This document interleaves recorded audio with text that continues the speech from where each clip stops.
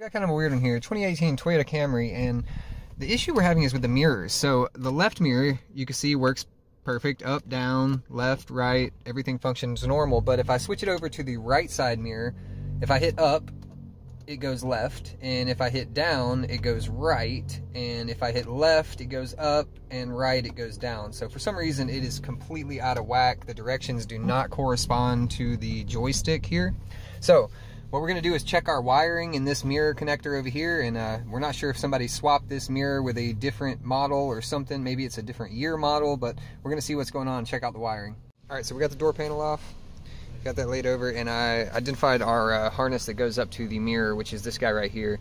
So basically what we're gonna do is we're gonna swap around two of the wires in the harness that goes to the mirror. And if I had to guess, it looks like this is probably an aftermarket mirror assembly and uh, most likely two of these wires are incorrect in here. So I'm just gonna swap those around. We'll retest it and see if that cures it up. All right, so after going through the diagrams a little bit and checking things out, we were able to find the uh, two of the wires here were indeed swapped. It's going to be that blue wire and that brown wire right there. So I swapped those two in the harness and everything is working perfectly now. And with those wires swapped around, now you can see uh, we've got right, left, up, down. All of our movement works perfectly.